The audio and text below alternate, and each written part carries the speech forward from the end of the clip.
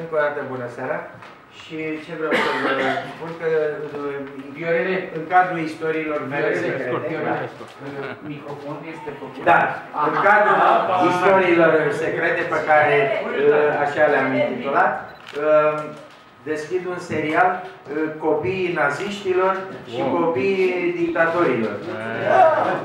Fiindcă m-am grăbit, n-am găsit decât o fată frumoasă, fata lui Mussolini. E da, în care a fost că s-a căsătorit uh, bătrânul, deci Benito Mussolini, cu Rachele, sau în italiană cum se numește? Rachele? Rachele. Rachele. Rachele. Da. Rachele, da.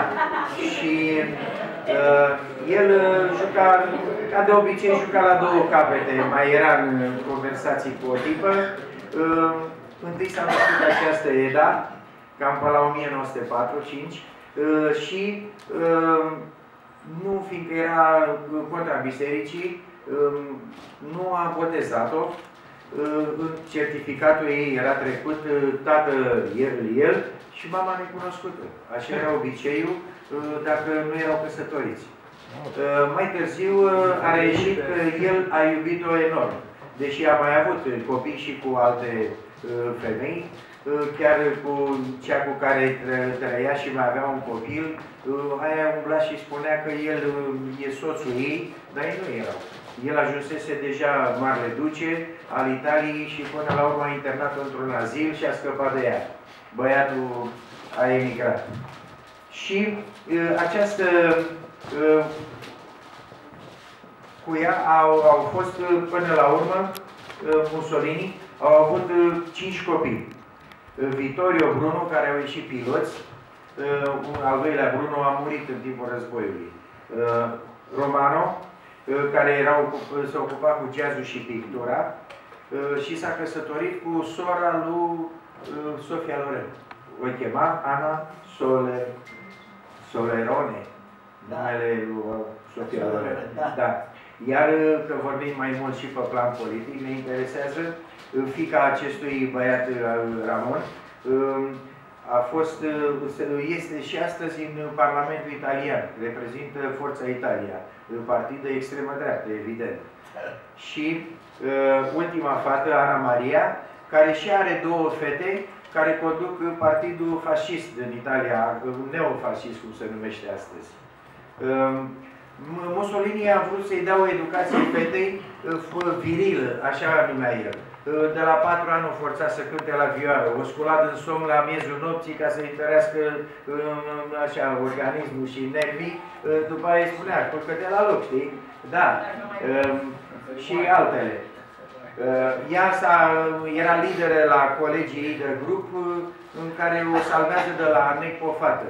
Evident că a devenit caz național și i-a dat și medalie, i-a dat și o scrisoare oficială de mulțumire.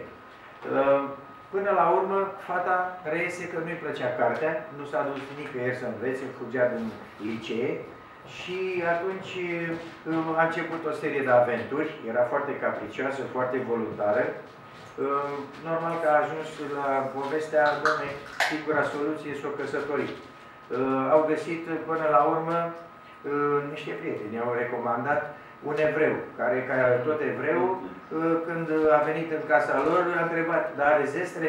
Normal, la Mussolini l-a dat afară. Zice, păi și noi am fost săraci, că era un jurnalist prăpădit când s-a născut, n-aveau ce mânca. Uh, și până la urmă, prin intermediul fratele, uh, a găsit contele, contele Ciano, amiral, era tatăl în primul război, și ăsta, băiatul, avea 26 de ani, italianul ăsta, Ciano. Și s-au căsătorit și căsătorie la ieșirea din biserică, ea avea 19 ani, fata. La ieșirea din biserică era gardă de fașiști care au făcut un culoar cu pumnalele ridicate. Era salutul fascist, așa, onorabil. Eda a fost foarte ambițioasă pe plan politic și l-a împins întotdeauna pe acest Galiațo uh, Cianu, l-a împins în față. A obținut pentru el ambasador în China, uh, au avut trei copii, să menționez și asta, deși nu are, are importanță, copiii nu, și uh, venit în Italia, ajunge până la urmă ministru uh, de externe în guvernul în timp și în timpul războiului. Se dezvoltă prietenia cu Germania, uh, amândoi sunt favorabili și mult pentru o înțelegere și ajunge la, la asta, la alianța Germania cu Hitler. În 1935 chiar locuiau ea mai ales la Göring acasă și Göring chiar ca o, un semn de mare apreciere când a născut soția lui Göring o fată, i-a pus numele ei, Eda Göring. Și uh, pe, revista, pe coperta revistei Time uh, apare acolo, doamna Axei, Axa Berlin, Roma, Axa în pactul de oțel. Uh, în schimb, în căsătorie nu se înțelegeau deloc. Și Anu și cu ea, cu Eda, pentru că ea, uh, o fire voluntară cum era, din uh, alte voiaje a început. Purta pălărie cum era Merlin uh, în, în, în filme. Fuma, bea whisky, înjura, n-avea probleme, a apăruse moda cu pantalonii, a fost între primele femei italience care au condus automobilul uh, și, a, și costumul de baie la două, la două piese. No, da, nu mai, da, da, era prea modernistă. Și erau discuții. În schimb, ea a ținut foarte mult la partea politică s-a uh, angajat și, uh, nu că s-a angajat, s-a dus cu vaporul când a fost războiul în Grecia în 1941 uh, în Crucea Roșie italiană. Acolo, fiind scufundat vaporul, prietena ei rămăsese ușa blocată de explozie și marinarul, un marinar cu forță a luat-o pe ea și a aruncat-o peste bord ca să scape. Și era noapte, echipajul de intervenție a venit tocmai dimineața. Cinci ore a rămas în apă înghețată, dar știa să noate și a scăpat. Uh, evident a devenit și asta o mare eveniment. Uite ce ar fi pățit dacă era tot ca și prietena ei.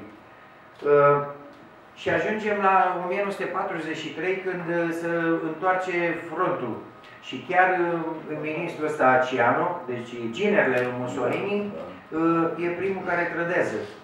Care trădează, îl arestează, știm cu toții, pe Mussolini, la fel pe Mussolini scorțe, scorțenii îl, îl eliberează, iar Hitler formează uh, așa numita Republică de la Salo uh, și el, Ciano, cu fata cu Eda, se refugiază în Germania, la adăpost au crezut ei. De unde? Uh, chiar Hitler recomandă trădătorii trebuie împușcați. Deci el era trădătorul, că el trădase. Geaba. Și degeaba a insistat ea pe la taică-so, taică-so i-a spus, domnule, și în Roma antică, împărații își executau proprii copii dacă trădau. Nu există discuție.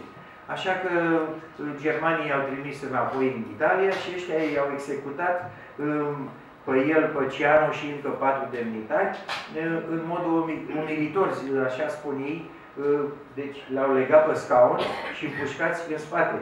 Era umilitor. După care a mai durat puțin și Mussolini și cu Clara Petaci, cu Amanta, au fost împușcați și aternați cu capul în jos în piața Loreto din uh, Milan. Ce s-a întâmplat după? Uh, Eda, fata, a umblat foarte mult după jurnalul acestui uh, soțului Ciano, și s-a refugiat la un spital de psihiatrie, spune în Italia, în Elveția, în 45. Și acolo l-a cunoscut, a luat uh, legătura cu Alan Dulles, sau Dulles, cum se pronunță, uh, reprezentantul FBI-ului America. Și uh, i-au dat bani pentru acel jurnal politic al lui Luciano, 25.000 de dolari, care în banii ăștia acum zice că sunt 135.000 de euro, ar fi și uh, ea s-a fost și arestată, înapoi au trimis-o, domiciliu forțat pe acolo, însă s-a liniștit.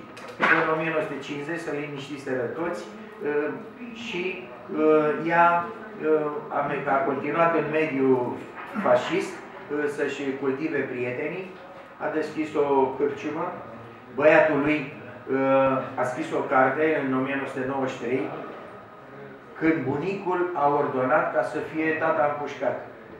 De Mussolini. Și da, da, de Mussolini era vorba, iar ea uh, continua să dea recepții cu prietenii ei neofașiști și cu ziare. A murit în 95. Asta a fost povestea cu Eda Mussolini.